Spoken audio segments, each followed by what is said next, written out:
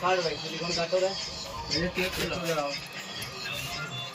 silicon से पानी पास नहीं होता ना ठीक